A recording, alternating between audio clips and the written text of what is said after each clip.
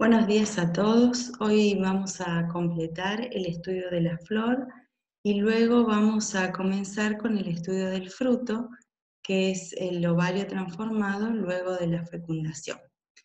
Bueno, para completar entonces el estudio de la flor, vamos a hablar sobre la sexualidad de las plantas con flores. Entonces vamos a eh, ver que eh, la mayoría de las especies presentan flores hermafroditas o perfectas, que esto es cuando presentan los dos sexos o los dos verticilos fértiles en cada flor de un mismo individuo. Se puede utilizar tanto el término hermafroditas como perfectas, son sinónimos. También hay especies que se las denomina diclino-monoicas, porque en estas especies eh, presentan flores unisexuales masculinas o estaminadas, porque tienen estambres, y flores unisexuales femeninas o pistiladas, por la presencia del pistilo, sobre un mismo pie. Pie se refiere a cada individuo o cada planta de una especie. Y esto es el típico caso del maíz. En ese caso se habla de monoesia, porque un mismo pie tiene los dos sexos, pero en distintos lugares. También hay especies que se las clasifica como diclinodioicas, y en ese caso se habla de dioesia, cuando tiene flores unisexuales, tanto masculinas como femeninas, en distintos pies, como, eh, o distintos individuos como por ejemplo el Salix fragilis que corresponde al sauce. También existen especies polígamas, que es cuando tienen tanto flores unisexuales, ya sea masculinas o femeninas, y flores hermafroditas. Cuando estos tipos de flores están en el mismo pie, se habla de polígamas monoicas, y en ese caso se habla de trimonoesia, como es el caso del castaño de Indias. O puede suceder que estas flores se encuentren en distintos pies y en ese caso se las clasifica como polígamas dioicas, como es el caso del fresno. Con esto entonces completamos el estudio de la flor. Recuerden que para estudiar una flor habitualmente se realiza la fórmula floral, el diagrama floral y el análisis de la flor. Ahora vamos a comenzar con el estudio del fruto.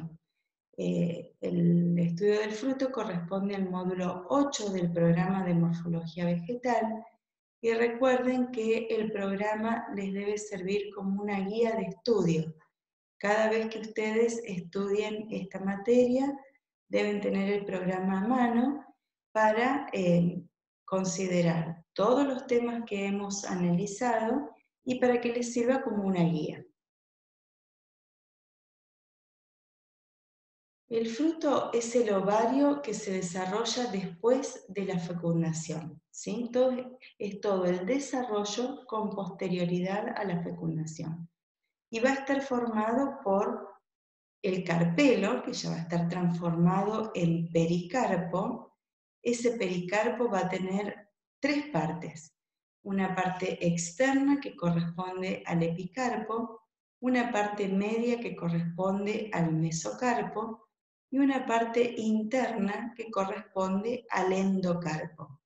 Y acá quiero que miren los prefijos de estas palabras. Epi significa sobre o externo. ¿sí? Carpo viene de fruto, es la parte más externa del fruto. Meso significa medio y endo significa interno o hacia adentro. Estas tres partes forman parte del pericarpo. Peri viene de eh, periferia, ¿sí? lo que rodea, y sería toda la pared del fruto que no es otra cosa que el carpelo transformado luego de la fecundación. Hacia adentro vamos a encontrar a las semillas. Las semillas recuerden que eran los óvulos transformados luego de la fecundación. Y para poder estudiar los distintos tipos de frutos, eh, nos valemos de una clasificación. Esta clasificación va a tener en cuenta muchas características que vamos a ir analizando una a una, y estas características reflejan la estructura de las flores de las cuales derivan. Por ejemplo, la primera característica que se tiene en cuenta es si ese fruto deriva de una sola flor, en cuyo caso se lo llama fruto monotalámico, o si deriva de más de una flor, y en ese caso se habla de frutos politalámicos o compuestos. La segunda eh, característica que se tiene en cuenta es la relación del ovario con las piezas florales. Y en ese caso vamos a hablar de frutos propiamente dichos cuando deriva de una flor hipógina, o sea que su ovario es súpero. O frutos complejos cuando deriva de una flor epígina con ovario ínfero. Acá quiero que presten atención que complejo no es lo mismo que compuesto. Fíjense que se refiere a dos características completamente diferentes. Otra característica que se tiene en cuenta es el tipo de gineceo y el número de flores que lo origina. Entonces vamos a clasificarlos como frutos simples cuando derivan de un gineceo gamocarpelar. Es decir, puede estar formado por uno o varios carpelos, pero todos esos carpelos forman un único gineceo porque están soldados entre sí. O pueden derivar de un gineceo dialicarpelar, en cuyo caso se los clasifica como frutos agregados, ¿sí? y acá recuerden que Puede estar formado por varios carpelos, pero cada carpelo forma un pistilo. El conjunto de esos pistilos forma el gineceo. En ambos casos, estos dos gineceos están eh, ubicados en una sola flor, por lo tanto, cuando nos referimos al fruto, vamos a hablar de frutos monotalámicos. En cambio, cuando hablamos de frutos compuestos, estos frutos derivan de muchas flores, por lo tanto, son frutos politalámicos. La siguiente característica que se tiene en cuenta es la histología de la pared. Y acá vamos a hablar de frutos carnosos cuando están constituidos por células con alto porcentaje de agua o frutos secos cuando esas células tienen bajo porcentaje de agua. La otra característica es la dehiscencia. Los frutos dehiscentes son aquellos que se abren a la madurez para diseminar la semilla. Y los frutos indehiscentes son aquellos que no se abren a la madurez para diseminar la semilla. Además de las, de las partes de la flor, un fruto puede además estar acompañado por otras partes, como por ejemplo por las brácteas de la flor. Eh, esas brácteas en el fruto toman el nombre de indubias. Otras partes de la flor también pueden formar parte del fruto, como por ejemplo el eje de la inflorescencia o el receptáculo. También hay frutos en donde su formación no depende de que ocurra la fecundación, en cuyo caso se clasifica estos frutos como partenocárpicos, típico de aquellos frutos que no presentan semillas, como por ejemplo las naranjas, los bananos, algunas variedades de, de uvas. Y en las gimnospermas, recuerden que siempre las eh, eh, clasificamos como eh, semillas, eh, plantas que presentan semillas desnudas. En este caso no tienen un verdadero fruto, pero las semillas están dispuestas sobre estructuras que toman distintos nombres, como por ejemplo, en el pino, ciprés, araucaria, se habla de estróbilos, estas estructuras a las que vulgarmente le llamamos piñas, ¿sí? Pueden ser de forma más cónica o de forma más redondeadas. Estas estructuras se abren a la madurez para permitir que las semillas se diseminen. O también pueden eh, ocurrir estructuras como los gálvulos, en el caso del Juniperus, que son estas estructuras redondeadas, carnosas, que no se abren a la madurez. Esto eh, se lo suele confundir con un fruto, pero en realidad no es una estructura homóloga al fruto de las angiospermas. Bueno, acá tenemos una tabla donde podemos ver las distintas clasificaciones y los tipos de frutos que eh, se ubican en esta clasificación. Dentro de los frutos simples, o sea que derivan de un gineceo gamo-carpelar, carnosos, o sea que sus células tienen alto porcentaje de agua, indehiscentes porque no se abren a la madurez, tenemos frutos que son propiamente dichos, o sea que derivan de un ovario súpero, como la drupa, la valla y el esperidio. Y también tenemos frutos complejos, o sea que derivan de un ovario ínfero, como el pomo o melónide, la pseudovalla y el pepónide. Eh, hay más tipos de frutos, pero nosotros nos vamos a concentrar en los más importantes eh, para la agronomía. Y vamos a comenzar por analizar el primero, que es la drupa. La drupa corresponde a todos los frutos que tengan carozo, ¿sí? Y estas eh, especies que presentan frutos con carozo pertenecen a la subfamilia prunoideas dentro de la familia rosáceas.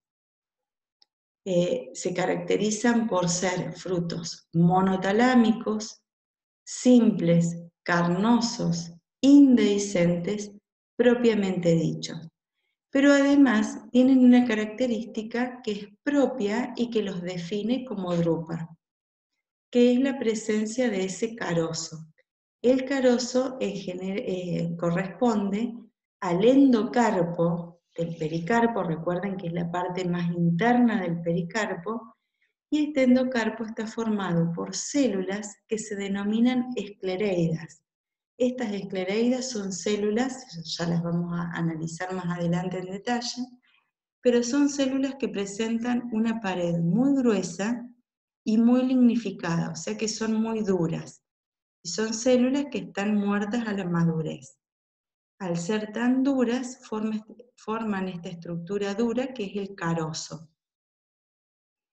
Quiero que tengan en cuenta todo esto es la pared del fruto, incluido el carozo. La parte de la cáscara del durazno sería el epicarpo. La parte comestible es el mesocarpo y el endocarpo sería el carozo. Este tipo de frutos generalmente tienen una placentación marginal, aunque algunas veces también puede ser axilar y es característico que solamente desarrollan una sola semilla. Por eso se habla de frutos uniseminados. Uni significa uno, seminado viene de semilla. Para poder encontrar a la semilla deberíamos romper el carozo y sugiero que si tienen la oportunidad lo hagan y van a encontrar una sola semilla. Todos los frutos con carozo se clasifican como drupas. Por ejemplo, la ciruela, el damasco, ¿sí? El coco, ¿sí? que habitualmente nosotros lo encontramos así en la verdulería, pero esta parte marrón corresponde justamente al carozo de este fruto. Toda la parte carnoso, carnosa de este fruto la podríamos ver si pudiéramos ver la palmera. En ese caso tendríamos el epicarpo, la parte más externa, el mesocarpo, ambas partes durante el proceso de maduración se van pudriendo y se van cayendo. El endocarpo, que sería la parte de la cáscara, es lo duro del coco, ¿sí? Y hacia adentro ya tenemos la semilla. La parte comestible, que es esta parte blanca, corresponde al endocarpo sólido de esa semilla, eh, perdón, al endosperma sólido de esa semilla, que sería el tejido de reserva. Con eso es lo que se elabora el coco rallado. Y también hay una parte de ese endosperma que es líquido, que corresponde al agua de coco. Estos dos tipos de endospermas, recuerden que ya es parte de la semilla, no del fruto. Otro fruto que también es una drupa, pero que nosotros lo conocemos de esta forma, ¿sí? es la nuez, la que habitualmente le llamamos nuez. En realidad, cuando la compramos con cáscara, lo más externo corresponde al carozo y adentro lo comestible corresponde a la semilla. Toda la parte carnosa de esta drupa la podríamos ver cuando está sobre la planta, ¿sí? En este caso tenemos el epicarpo, el mesocarpo que acá ya lo vemos bastante degradado, ambas partes se pudren y se desprenden del carozo y el carozo es lo que queda persistente protegiendo a la semilla. Acá estamos hablando de fruto propiamente dicho y acá quiero que vean que se ve muy bien cómo se debe analizar cuando un fruto es propiamente dicho. Fíjense que acá prácticamente no tiene pedicelo este fruto, ¿sí? está sostenido al eje, pero tenemos toda la formación del fruto y hacia el otro lado la presencia del estilo y el estigma que quedan pequeñitos y que van a ir desapareciendo gradualmente. Se ve muy bien que el ovario es el que desarrolla el fruto. Las piezas florales se insertan acá inmediatamente a la inserción al eje que la sostiene y por lo tanto el ovario es súpero y por eso ese fruto se clasifica como propiamente dicho. Acá también se ve muy bien los restos de estilo y estigma de ese gineceo.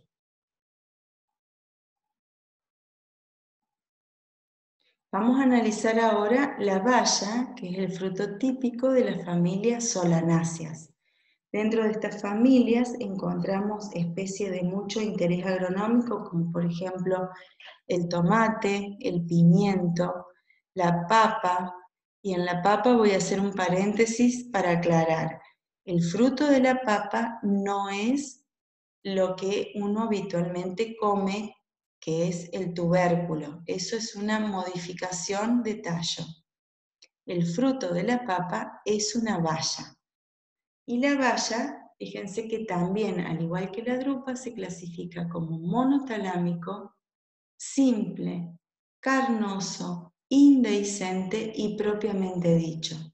Por eso es que tenemos que analizar, a ver, qué característica hace que uno lo pueda clasificar diferente al anterior. Acá tenemos un tomate, ¿sí? donde se ve muy bien la presencia del pedicelo, restos de piezas florales y por encima el fruto. Por eso es que es propiamente dicho es monotalámico por la presencia de este pedicelo, quiere decir que todo esto corresponde a una sola flor. Es simple porque deriva de un gineceo gamocarpelar. Acá se ve claramente que está formado por dos carpelos. ¿sí? Esto es igual que en la flor, nada más que más grande, porque está más desarrollado. Es carnoso vemos que sus células tienen alto contenido de agua y por eso uno tiene la sensación de que tiene mucho jugo, ¿sí? Y es indehiscente porque los tomates no se abren a la madurez para liberar a sus semillas. Además de todo esto, que es exactamente igual a la drupa, lo que vemos en la valla es que presenta un epicarpo generalmente liso, que es la cáscara del tomate, en este caso porque analizamos el tomate, un mesocarpo parenquimatoso, ya vamos a ver más adelante que el parénquima es un tejido que está formado por células que tienen alto contenido de agua, y el endocarpo poco lignificado, quiere decir que es blando. El endocarpo sería la parte más interna de este pericarpo. o sea que tenemos epicarpo, que es la cáscara, mesocarpo lo del medio, endocarpo lo más interno. Todo esto que está relleno con jugo sería un lóculo y acá tenemos el otro lóculo. Estas estructuras que se forman acá, que parten desde el centro, corresponden a la placenta, en las cuales se insertan o sostienen a todas las semillas. Esta es la característica especial de la valla, que el epicarpo es liso, el mesocarpo es parenquimatoso y el endocarpo, este especialmente, poco lignificado, lo diferencia directamente de la drupa. Este tipo de frutos puede tener placentación axilar o parietal, dependiendo de la especie que estemos analizando, y en general son pluriseminados porque tienen muchas semillas. Otros ejemplos serían el pimiento, ¿sí? y acá los invito a que si tienen eh, estas especies en sus hogares, que lo corten transversalmente para poder analizar la cantidad de carpelos que lo forman, el tipo de placentación, poder eh, ubicar a la placenta, la cantidad de semillas, a dónde está el pedicelo, a dónde están las piezas florales, por ejemplo, acá tenemos el pedicelo y las piezas florales y por encima el ovario. Eso nos dice que es un fruto propiamente dicho. ¿sí? O por ejemplo también la berenjena. En este caso, fíjense qué lindo que se ve el pedicelo y restos de cáliz, porque estos corresponden a los sépalos. Ya los pétalos y los estambres se han caído. Pero esto, si lo giramos, vemos que tenemos el pedicelo hacia abajo, piezas florales y por encima el fruto, que sería el, ovario. Por eso es que se lo clasifica como propiamente dicho. Al tener un solo pedicelo, también estamos diciendo que es un fruto monotalámico. Ese ovario está formado por varios carpelos todos unidos entre sí, formando un solo fruto, por eso lo clasificamos como simple. Carnoso, bueno, por la cantidad de agua que tienen sus células, indehiscentes porque no se abren a la madurez para liberar a sus semillas. En general, la familia solanáceas presenta ovarios formados por dos carpelos, pero en estas especies que están modificadas por el hombre, ¿sí? o mejoradas por el hombre, no es eh, raro encontrar eh, que presenten muchos más carpelos.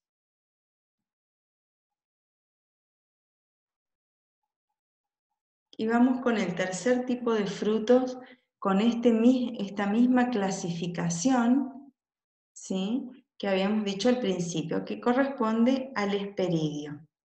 Y el esperidio es un fruto típico de algunos géneros de la familia rutáceas. Corresponde a los cítricos, ¿sí? Y el esperidio, aparte de clasificarse exactamente igual a los otros, o sea que es monotalámico, simple, carnoso, indehiscente y propiamente dicho, tiene esta característica que corresponde al pericarpo. Ese pericarpo va a estar formado por un epicarpo con glándulas oleíferas, que sería la cáscara, por ejemplo en este caso, de la naranja. ¿sí? Esas glándulas oleíferas son em, glándulas que contienen aceites esenciales y que le da el típico olor a cítrico. Luego tiene un mesocarpo, que es esta parte blanca, que tiene una consistencia más esponjosa, y el endocarpo, que sería esta membrana que recubre a cada uno de los gajitos o casquitos de la naranja, que es más compacto y que está relleno de sacos jugosos, rellenando todo el lóculo. ¿sí? Este fruto tiene una placentación axilar, fíjense que cada uno de estos gajitos corresponde a un carpelo, ¿sí? Y los lóculos, que sería el espacio donde se alojan las semillas, están rellenos de esos sacos jugosos y que, que son los que realmente nos gusta consumir. La placentación además es axilar porque las semillas están adosadas a una placenta que se forma en el centro, en la unión de cada uno de estos carpelos, ¿sí? y la presencia de numerosas semillas. Por eso este esperidio se lo, eh, está caracterizado por presentar una placentación axilar, es pluriseminado y la característica especial de este fruto es que tiene un epicarpo con glándulas oleíferas, mesocarpo blanco de consistencia esponjosa y endocarpo compacto con sacos jugosos que rellenan los lóculos en general todos los cítricos tienen este tipo de fruto, o sea, esperidio, como por ejemplo el pomelo, el quinoto, ¿sí? todos los cítricos, el limón. Ahora fíjense que vamos a analizar frutos que también son monotalámicos, son simples, carnosos, indehiscentes pero son complejos, o sea que derivan de un gineceo ínfero. Y vamos a comenzar con el estudio del melónide o pomo, que eh, caracteriza a especies que pertenecen a la subfamilia Pomoideas dentro de la familia Rosáceas. Hoy cuando hablábamos de drupa habíamos hablado de la subfamilia Prunoideas. Ahora vamos a hablar de las Pomoideas que corresponden, por ejemplo, a la manzana, a la pera. Estos frutos, aparte de caracterizarse por todo esto que está descrito acá arriba, se, caracterizan por presentar una placentación axilar, acá se ve muy bien en este corte transversal, está formado por cinco carpelos, toda la pared del fruto sería el carpelo, ¿sí? Este sería el segundo, el tercero, el cuarto y el quinto. Estos serían los septos de esa placentación y fíjense que las semillas se ubican en el centro, como en cualquier placentación axilar. Cinco carpelos, obviamente tiene que tener cinco lóculos, que son los espacios donde se alojan esas semillas. Es pluriseminado, porque en estos lóculos vamos a encontrar varias semillas. Y el clamidocarpo, fíjense que acá vamos a dejar de hablar de pericarpo, porque el pericarpo deriva de un carpelo luego de la fecundación.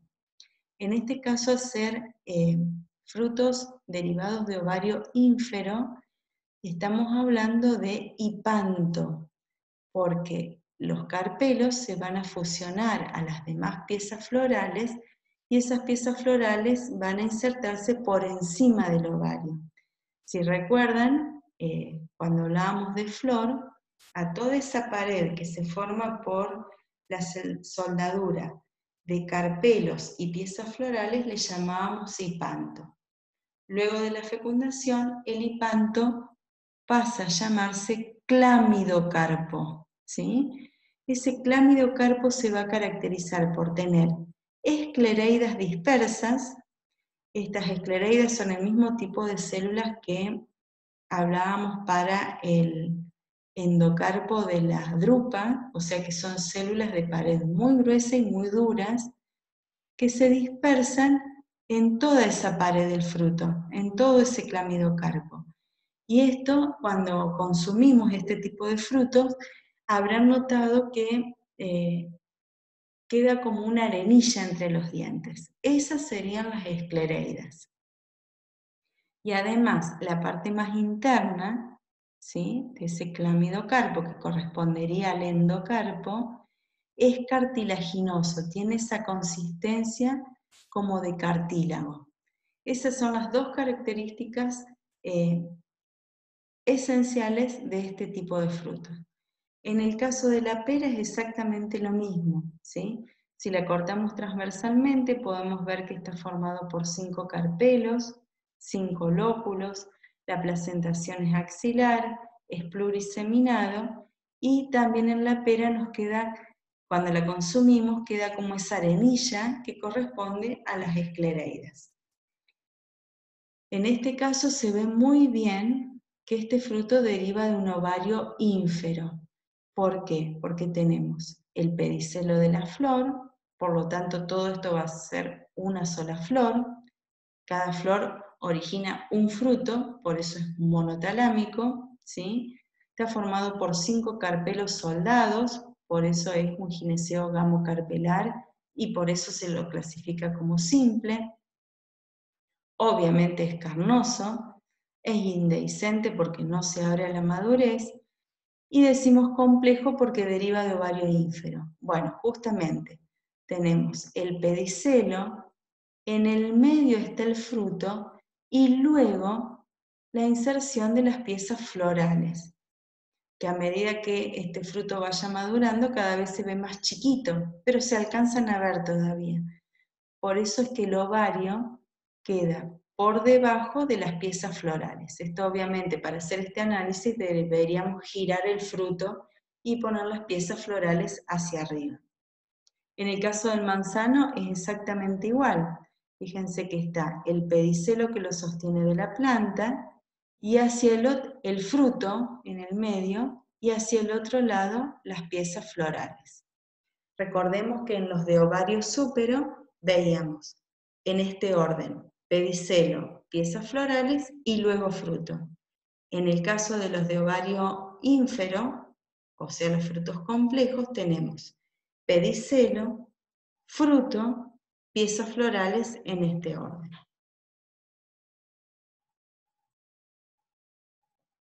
La pseudobaya, que es el fruto típico de las especies de la familia cactáceas o de los cactus, y las musáceas, dentro de las cuales entran los bananos, que podemos ver en esta fotografía, ¿sí? Cada flor forma un fruto, por eso también se lo clasifica como monotalámico. Está formado por varios carpelos. Recuerden que para ver el número de carpelos tenemos que cortar transversalmente el fruto. ¿sí?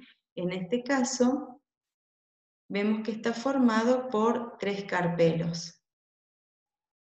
Y sería placentación axilar. Estos serían los septos.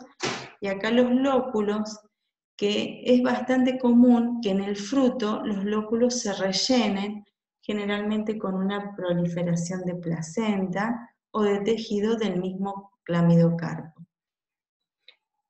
En el caso de las pseudobayas se, caracterizan por eh, ser frutos que presentan presentación axilar o parietal, dependiendo de la, de la especie que estemos analizando. Generalmente tienen muchas semillas, por eso se habla de que son pluriseminados, aunque hay algunas especies que son partenocárpicas, como por ejemplo el banano. El banano no produce eh, semillas y aún así desarrolla el fruto. Este fruto se caracteriza por tener la pared externa del, clamidocarpo con laticíferos, que ya lo vamos a ver eh, más en detalle eh, cuando veamos estructuras secretoras, son unas estructuras que secretan látex, que es ese líquido blanquecino que producen algunas especies. Y aerénquima, que es un tejido que tiene grandes espacios intercelulares y por lo tanto forma estos espacios que se pueden observar acá. Y la parte interna, que es comestible. Esta es la característica típica de la pseudobaya. Y por último, dentro de los frutos carnosos, vamos a analizar el pepónide, que es el fruto característico de la familia cucurbitáceas, dentro de la, de la cual están todas las especies que producen zapallos, como se puede ver en esta fotografía. Eh, este tipo de frutos se caracteriza por tener una placentación parietal, por producir varias semillas y porque la pared del fruto tiene diferentes grados de lignificación. Y acá en estas imágenes quiero que analicen muy bien porque se ve perfecto la presencia de el ovario ya formando el fruto y ese ovario es ínfero. Este correspondería al pedicelo de la flor. Acá todavía están presentes todas las piezas florales de esa flor, ¿sí? pétalos, estambres, y el ovario que ya comienza a formar el fruto. Por eso es un, ovario ínfero y el fruto se clasifica como complejo. Y para analizar el número de carpelos que lo forman y la placentación, tenemos que cortarlo transversalmente. Y acá podemos observar que este fruto tiene tres carpelos. Uno va desde acá hasta acá, el otro va desde acá hasta acá y el otro va de acá hasta acá. Fíjense que las semillas no están en el centro como los casos que veíamos anteriormente, sino, que se dan en las paredes de esos carpelos. ¿sí? Por eso es que esta placentación es parietal. Uno podría decir que no estamos viendo el lóculo que debería tener la placentación parietal, pero acá ocurre justamente lo que les decía hace un ratito, que es la proliferación de placenta. O sea, la placenta crece mucho y rellena todo ese único lóculo. Pero para poder analizar bien la presencia de esa placenta, tenemos que ver a dónde se insertan esas semillas. ¿sí? Y esas semillas se insertan en los márgenes. Y con esto vamos a finalizar este video. Luego vamos a continuar con el desarrollo de todos los frutos secos.